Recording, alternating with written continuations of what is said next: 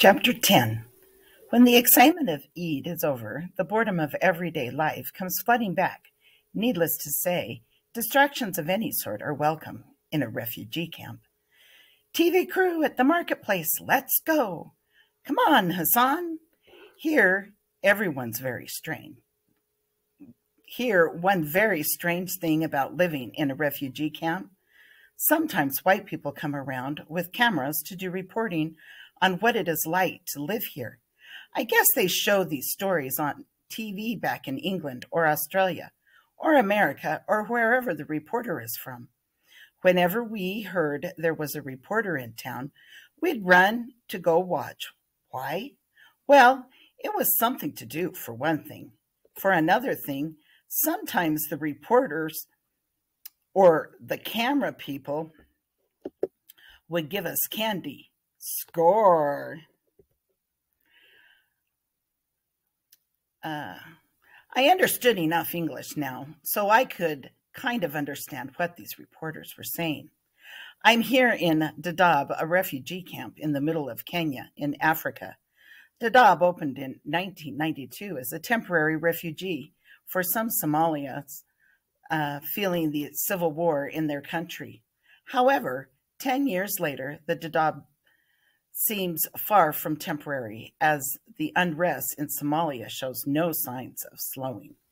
The reporter would go on and on and talk about the lack of water, the lack of food, the poor housing, and so on. Then the camera crews would pack up their stuff. Sorry, kids, we're all out of candy, and get back in their fancy cars and drive off in a cloud of dust. I wondered if anyone ever watched these shows back in England or Australia or America. And if people did watch them, why wasn't anyone helping us?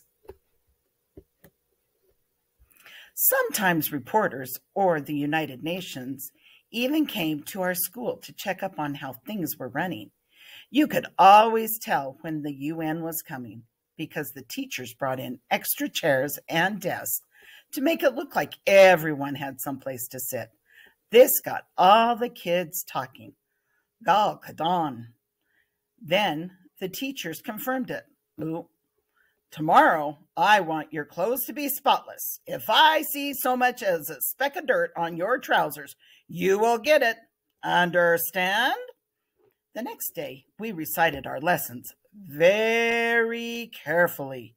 No one dared to misbehave during class, even though it would have been really funny to see our teachers' faces if we did.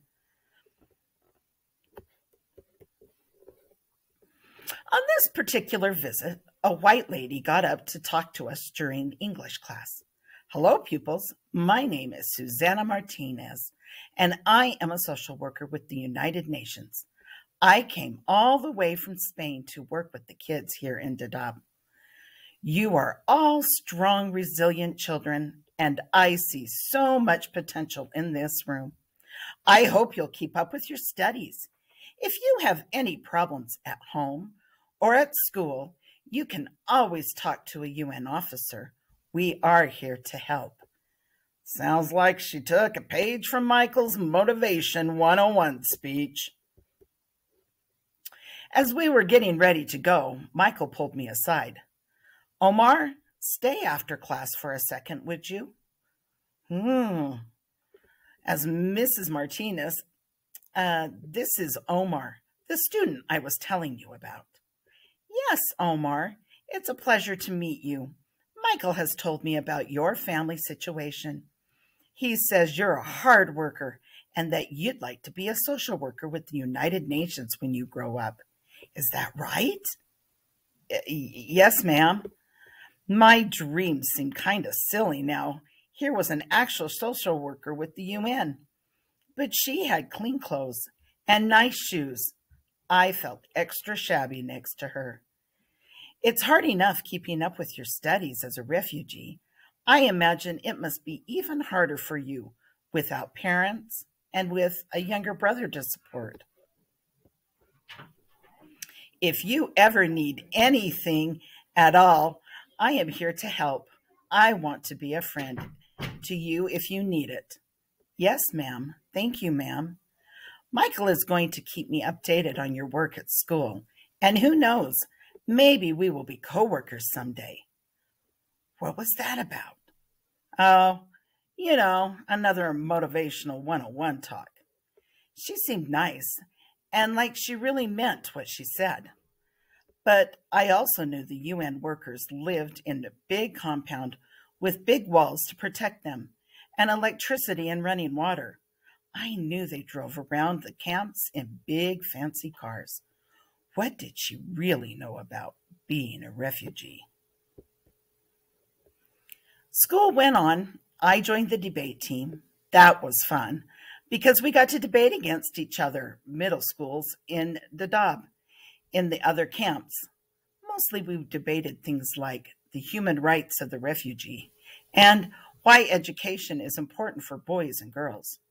Really, it was just a way to practice our English. Life takes on a routine, and day after day, everything stayed the same. Go to school, care for Hassan, do my chores. Weeks and months passed. Normal, boring, waiting, waiting. I've learned that the biggest surprises in life can come when you least expect them, which is why I was completely unprepared for what would happen next. Stay tuned.